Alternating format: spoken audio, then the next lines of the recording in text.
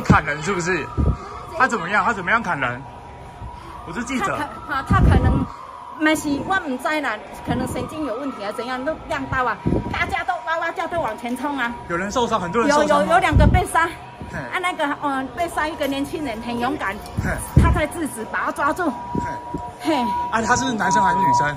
男的。男的一直刺人就对了。嘿，有原有说原因吗？啊？有说原因吗？没有，大家都了往前冲。